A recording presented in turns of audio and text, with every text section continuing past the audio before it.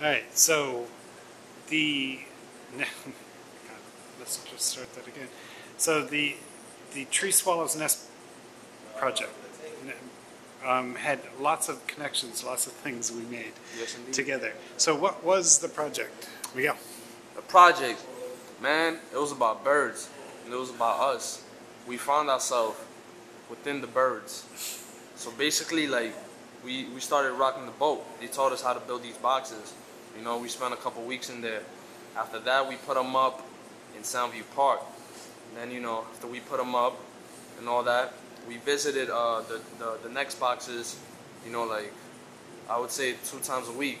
We check them out, you know, see what kind of birds are around the area, see if, um, you know, what's inside the nest box. And, uh, I don't know. Cool. What was it like to build it? The nest box.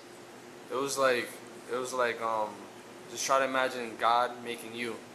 You know what I'm saying? So it's like you're creating something, creating an entity almost. Thank you. So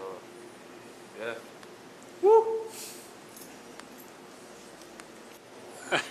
So the Tree Swallows Nest Box project was something that uh, we did with uh, students here at Bash and um, Bronx Arena, and um, they first built nest boxes, then they um, took them out and put them up in the park.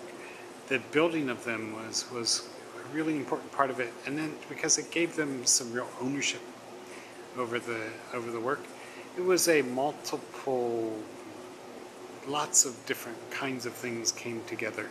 Um, there was art, there was um, lots of reading and writing that we did together too, and the building and the learning about birds, environment, and uh, we also boated on the river and got to know our neighborhood and our parks here.